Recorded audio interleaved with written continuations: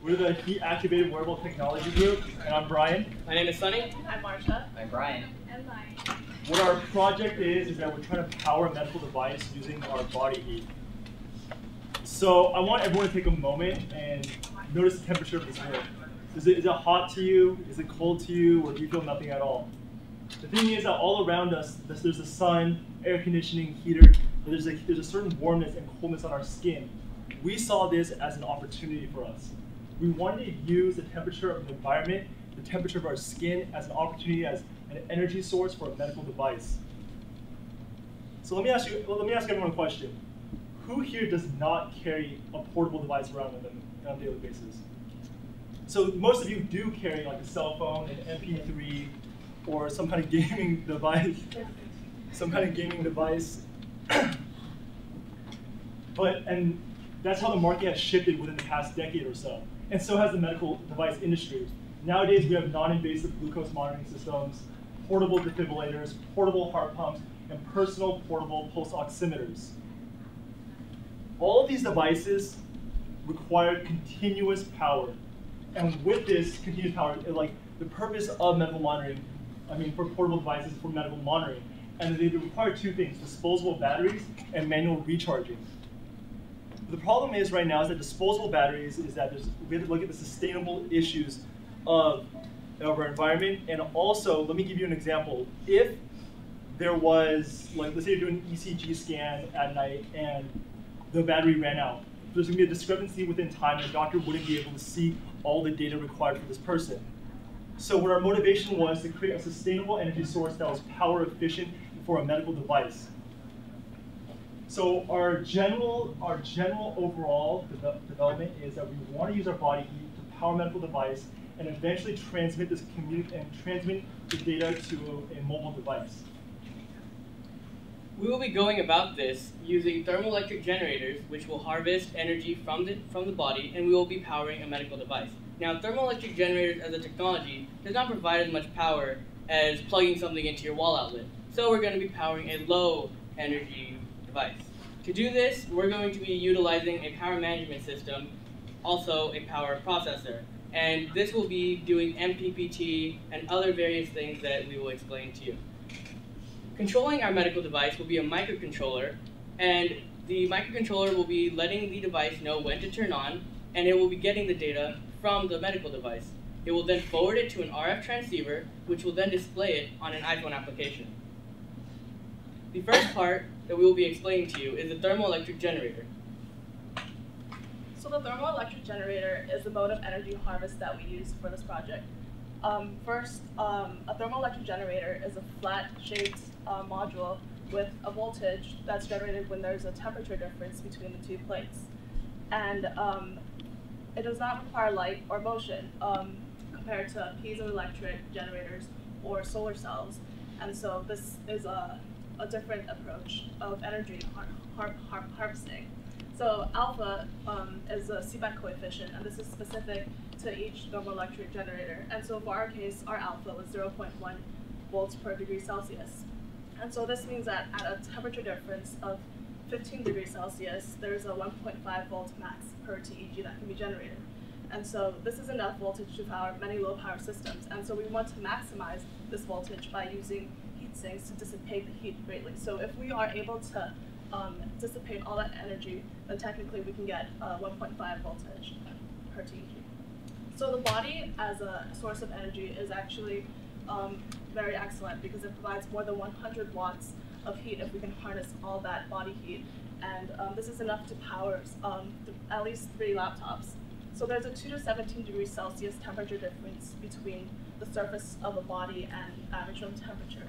And so um, parts such as the neck has a 17 degree Celsius difference because there's very little thermal resistance there and lots of blood flow per area, whereas other places like the wrist has 6 degrees Celsius difference because of the blood flow there. And so furthermore, TGs are safe to be used on the body because the ceramic plates which are in contact with the skin are rather inert and do not cause um, adverse side effects when in contact with the skin for a very long time. So in designing a prototype, um, first we want to maintain the temperature difference. Um, Secondly, we want to choose an ideal location of the body that will sustain this temperature difference, and we want to maintain the contact between the body and the thermoelectric generators. So the first prototype that we worked on is a wrist one, and here we use a smaller size um, TEGs, and we connected them in series, and um, we were able to generate some power, but not enough. So we enhanced this by attaching the heat sinks on top of it. But even then, we needed um, at least eight of those smaller ones in order to have enough power for the rest of our system. And so to improve on this design, we thought of another idea, and that's the hydration pack model. And so here it's a backpack, and sewn on the backpack we have um, TEGs on this on the back side of the back padding, and, um, actually inside of the backpack there's a pocket which can house a water bladder, and we take advantage of the temperature gradient that exists between the hot back and the cooler water bladder, and this drives the, um, that sustains the voltage for a longer period of time. So after harnessing all that heat energy and converting it to electricity, we want to um, manage that power and use it most efficiently. So that's where power management comes in. In order to design the most um, efficient power management system possible, we have to take a few key points into consideration. The first was managing the input from the TEGs. Through our testing, we determined that each TEG module outputs at maximum of 20 millivolts. Um, our overall device needs at least 3 volts to run. So in order to reach this goal of 3 volts, we used a boost converter. The second thing was because there is low amounts of power harnessed from the TEGs, we had to find a way to maximize that. We did this through a process called MPPT, or maximum power point tracking. Um, the third thing was once we gathered or harnessed all of this energy, how would we store it and make it useful for our system? So we decided to implement the use of rechargeable batteries so that we can make sure that we have enough energy stored in our system to power it at any given time. All of those considerations were found in the form of energy processors. So for our project, we researched several different types of processors. The two main ones that we tested and looked into were um, one from Cymbet and one from Texas Instruments.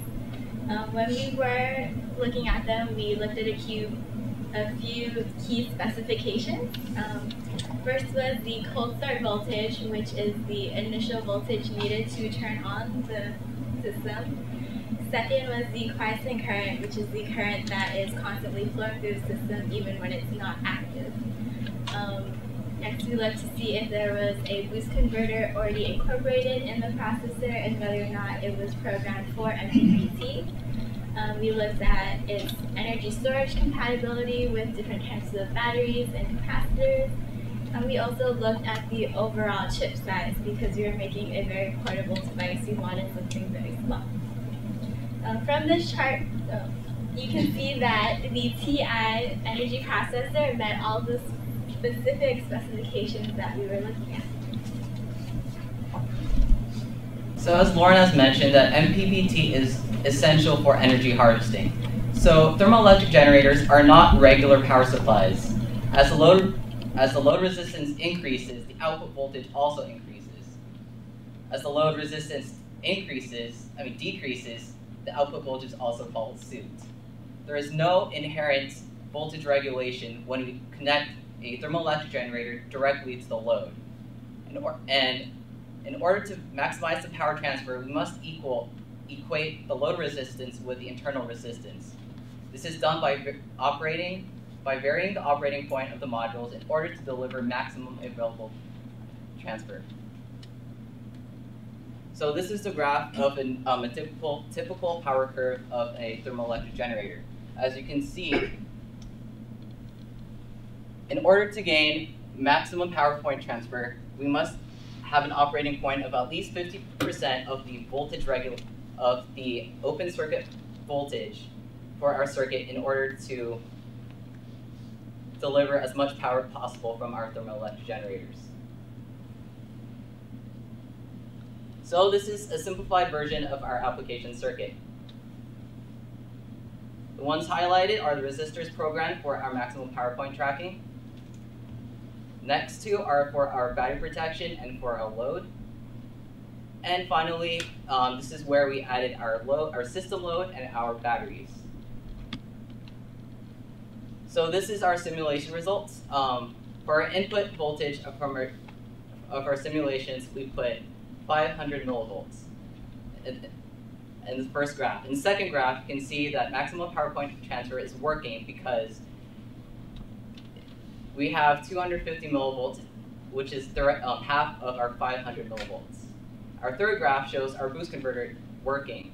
We see that as programmed, we have three volts that we can we are able to get from our 500 input 500 millivolts input voltage, and we can store that into our battery, which is a little less than three volts. So after we've harvested all the energy, that we want to enter into the system load section. The system load section we, we consist of a microcontroller, a low power medical device that we chose to be a pulse sensor, and also an RF transceiver that communicates with an iPhone application. Originally in our scope of our project, we chose to use a pulse oximeter, but we, we used a pulse sensor as a device. The reason being was because physically these are very similar devices. They both use infrared photo uh, light emitting diodes.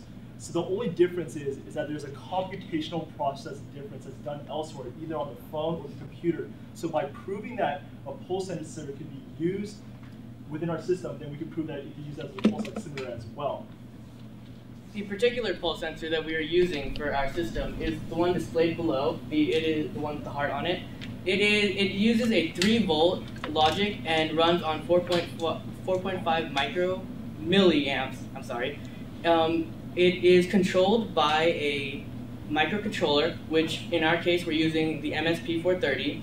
Um, initially, it was designed to be used with the Arduino microcontroller, but we were not able to use this microcontroller due to its power requirements of 5 volts and 50 milliamps per I.O. pin.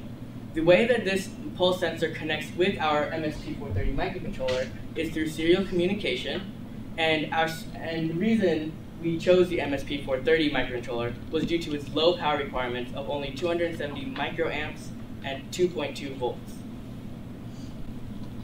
This MSP430 is displayed below on the uh, picture, and on board the same chip is an RF antenna. We decided to use this chip in particular because this RF antenna was 1.8 volts running at a maximum of 35 microamps. This combined microcontroller and RF system uh, would still be consuming less than the Arduino microcontroller, which was the biggest competitor. So when deciding how to get information to the iPhone application, there were three main things that came into mind. First of all was basic Bluetooth. We, we wanted to do this because basic Bluetooth is in all, most phones and mobile devices. However, the power requirements that basic Bluetooth needs far exceed our uh, power output. Then the next thing we want to look at, which was uh, released early on in the project, was Bluetooth 4.0. Bluetooth 4.0 released a new standard called Bluetooth Low Energy, which would have fallen into our power requirement needs. However, there was low support and availability as far as devices that would have the Bluetooth 4.0 chips.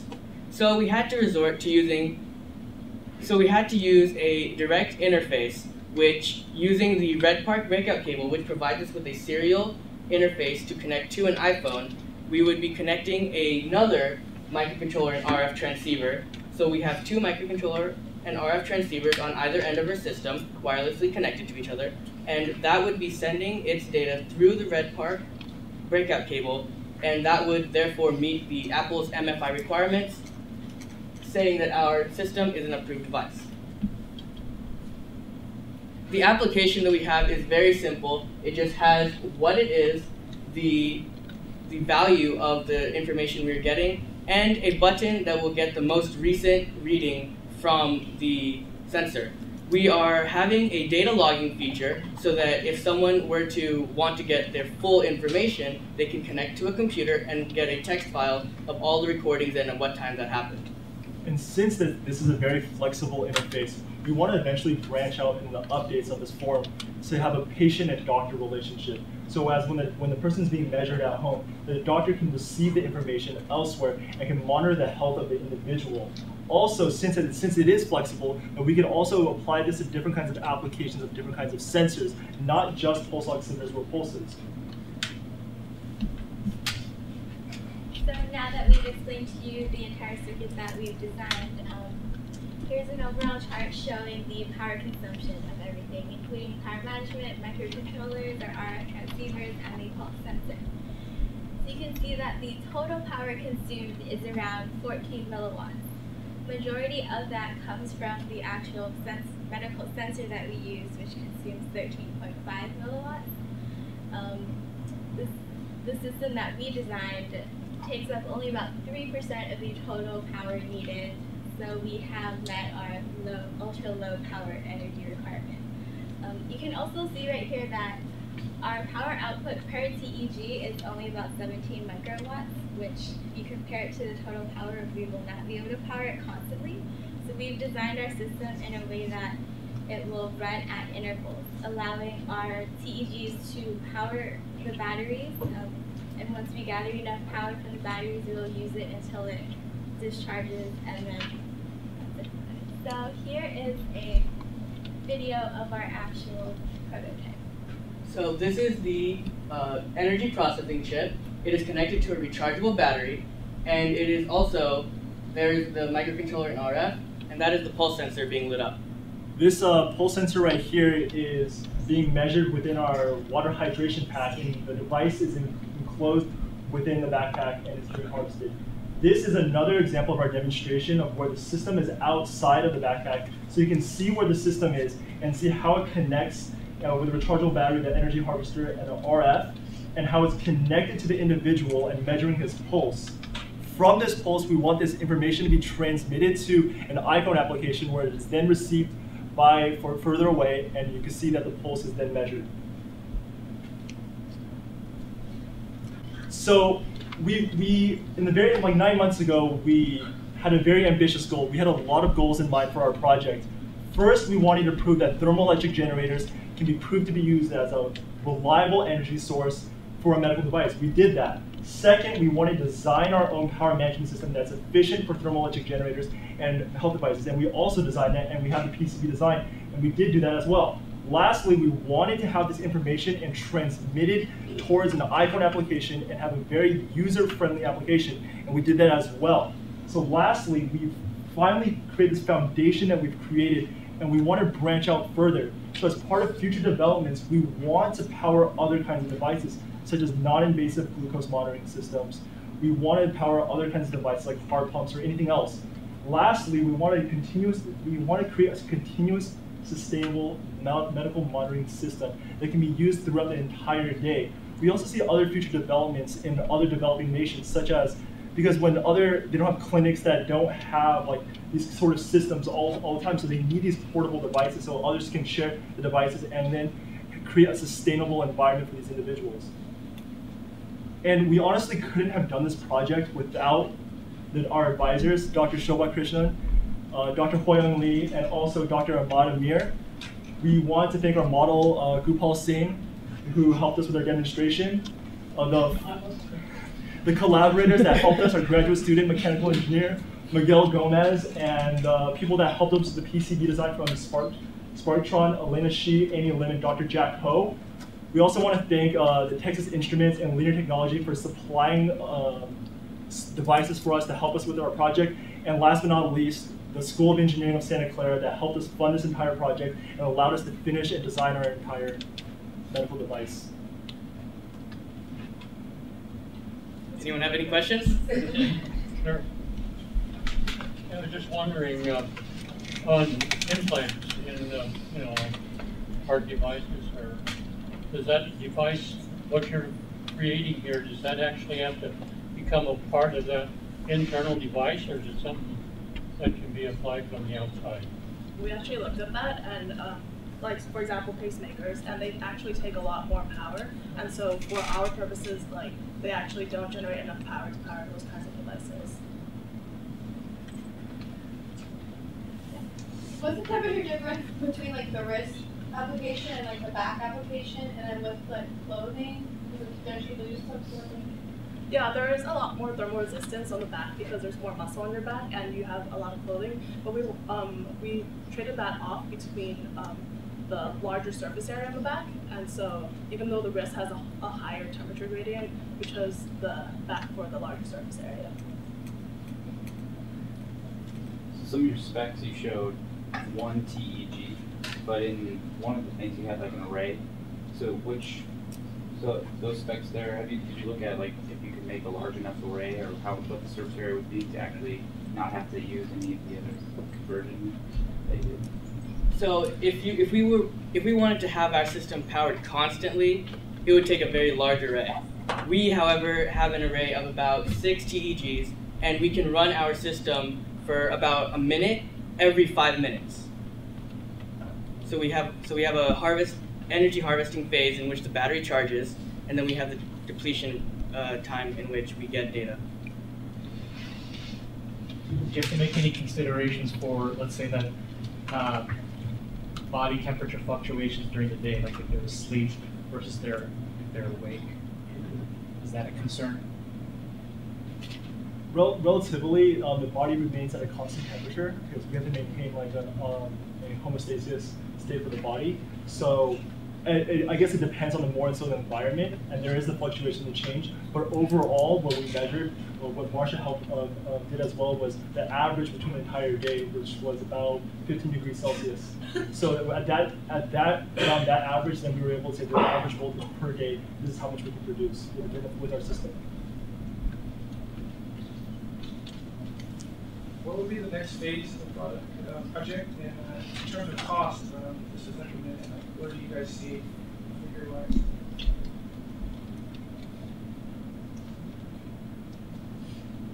So, well, well, the next phase of our thing is we want to we want to do it into other kinds of medical devices, such as non-invasive glucose monitoring systems.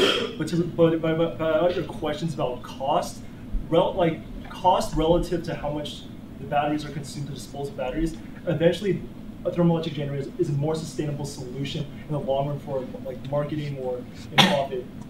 Because the over years, after years, like the cost of batteries will accumulate. Did you experiment with, you know, you went to the backpack model, did you experiment with other series connections, like if there's a wrap on the thigh or a wrap on the back, like you see like a, you know, like a heat injury, you know, you put like a heat pack or a cold pack kind of thing? Wrapping other parts of the body, but um, we, we, actually like a paper that I found that looked at different parts of the body and where there's more heat emitted, and so actually the legs actually there's not that much heat emitted, even though you would think because there's a lot of muscle there and you're like activating that muscle, then there's a lot of heat release. But no, because of the there, because of the muscle there, it actually um, creates resistance and there is less heat loss there, and so um, so we settled on the backpack model because it seemed like convenient to use the hydration pack as well to create that gradient. Are these thermoelectric cells rigid? Like, did you actually wrap them, or or Oh, are you stuck with they're like? solid, yeah. So, So, is solid. there a way to make them flexible so you could actually have them No, stick to they're not skin? flexible. Um, One way, one way possibly to create a flexibility that you want would be sort of to create the chainmail effect of having very small solid objects, so that but they're all connected together, so that you can have the curvature. Maybe if you like. so that's kind of what we did with the wristband. We used a smaller size of the TGs.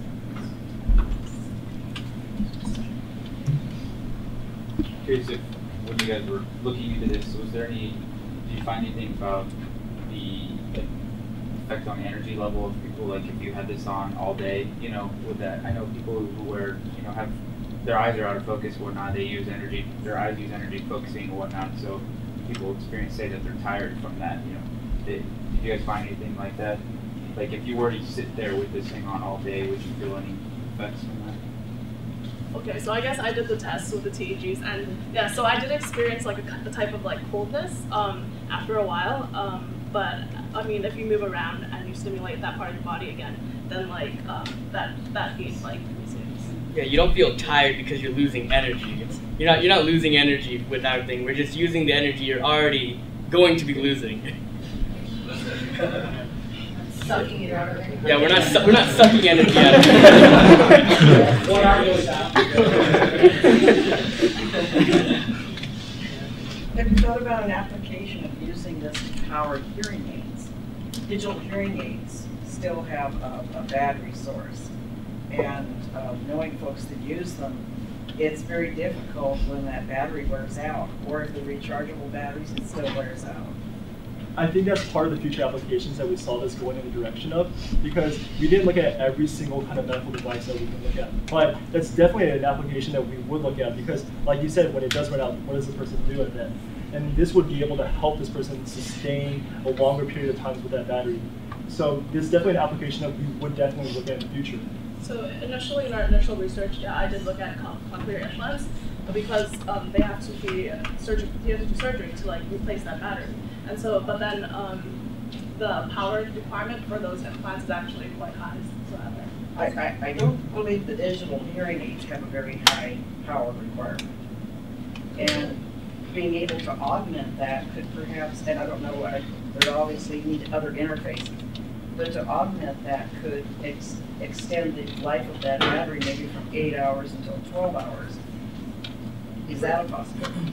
Perhaps that application would be more feasible if the in the future when the gener- when the manufacturers of thermoelectric generators get them to a size small enough such that you wouldn't have an encumbrance on the person's ear.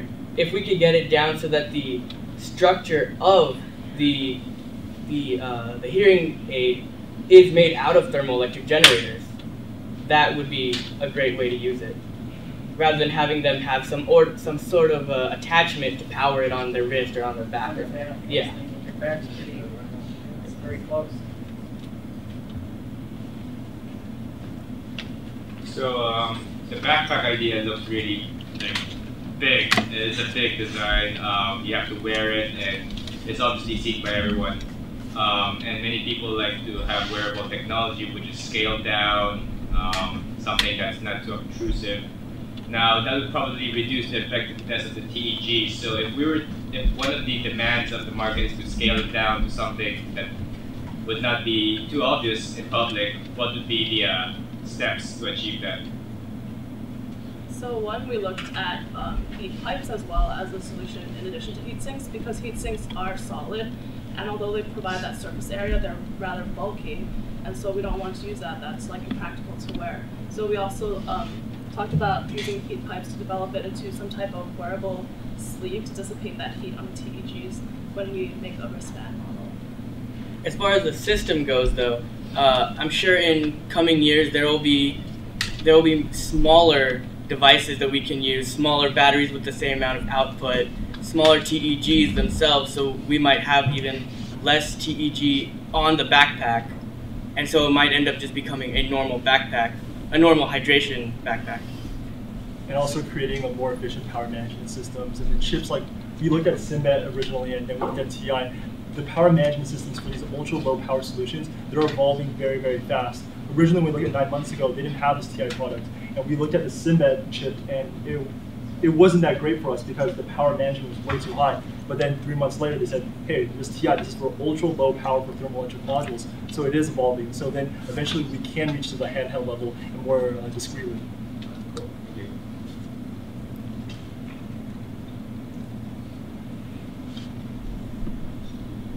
Any more questions?